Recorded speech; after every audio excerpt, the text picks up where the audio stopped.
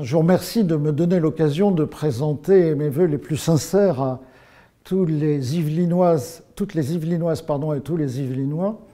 Une année qui, évidemment, pour nous, outre les réalités quotidiennes qui ne sont pas toujours simples, sera marquée par euh, les Jeux Olympiques, bien entendu, qui, euh, pour festifs qu'ils seront, apporteront évidemment quelques désagréments. Mais je voudrais rassurer tout de suite les usagers de la route, des transports et les résidents des communes principalement concernées, euh, ce qui va être confirmé dans les jours prochains par mes collaborateurs sera des restrictions, certes, pendant les jours euh, des épreuves, mais les plus limitées possibles, limitées si possible au temps des épreuves, et en tenant compte des réalités de la vie économique, de la vie sociale, de la vie de tout un chacun. Donc, Monsieur le préfet de police a pris des dispositions extrêmement euh, cadrées, notamment pour Paris, compte tenu de l'enjeu, notamment de la cérémonie d'ouverture, mais nous avons, la, faculté de desserrer un petit peu les contraintes, en tout cas dans le temps et sur les lieux, et nous allons nous attacher, par un dialogue avec notamment les maires, les présidents de PCI et les parlementaires, bien sûr, et les usagers, la CCI, la CMA,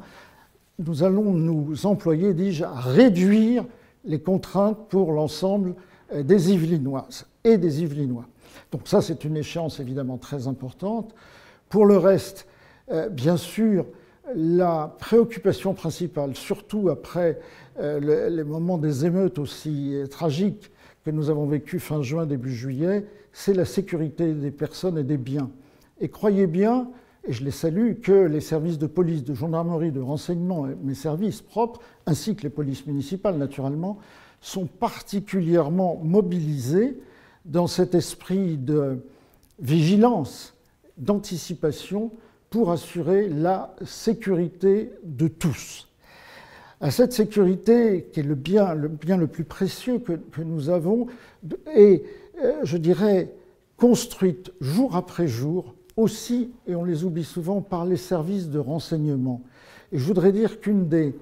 tâches que nous nous assignons pour les temps qui viennent, surtout après les drames qui se sont produits, notamment récemment à Arras et à Paris, c'est de prévenir autant que possible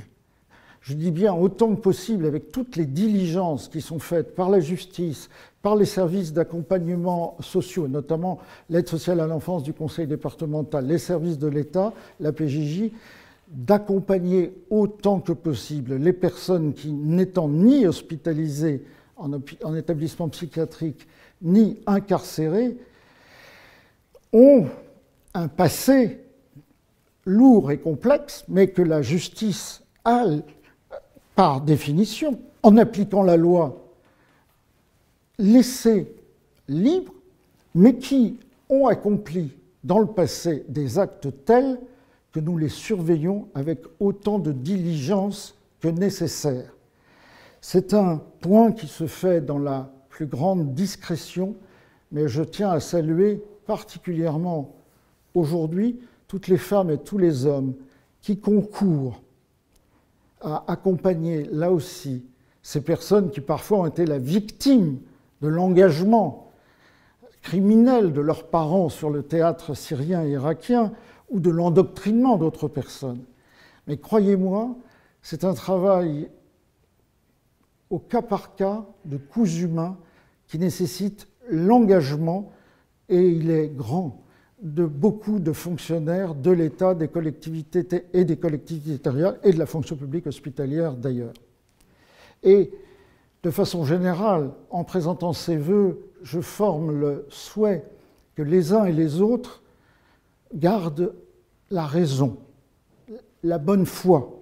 qui doit tous nous animer pour envisager cette année en minimisant les violences qui pourraient verbalement et puis dans la réalité se manifester, nous devons plus que jamais, par un travail euh, généreux, de disponibilité, généreux, ça veut dire créer des emplois, accompagner les entreprises, l'installation de France Travail et les promesses qui l'accompagnent. Un travail généreux, ça veut dire aussi être capable dans l'éducation nationale et dans toutes les formes d'enseignement, d'accompagner des élèves qui sont parfois en désarroi. Tout cela suppose de construire concrètement, autant que possible, et notamment dans nos quartiers dits de politique de la ville, la fraternité au quotidien. C'est vraiment l'exigence que nous devons avoir en tête, nous autres responsables politiques, publics ou de politique publique. N'oublions jamais cet élément du fronton de nos mairies, de nos préfectures, liberté, égalité, fraternité. Je crois que plus que jamais, nos compatriotes aspirent à un apaisement du débat public, à la réalité du débat. La liberté d'expression est totale. Et vous observerez qu'elle a été scrupuleusement respectée dans le département des Yvelines, lors de toutes les manifestations possibles, mais encadrée de façon appropriée par les forces de l'ordre. Donc liberté, bien entendu, mais dans un cadre républicain, recherche de la fraternité par tous les moyens, et d'abord les moyens qui sont le respect de la vérité, le respect des personnes, la dignité du débat et l'attention portée à chacun. Voilà, mesdames et messieurs, chers compatriotes yvelinois, ce que je nous souhaite. Cette année sera forcément complexe. Nous mesurons les difficultés de logement, les difficultés de transport,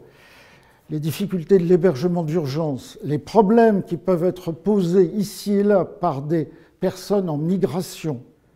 Croyez que mes collaborateurs et moi, nous nous attachons à leur résolution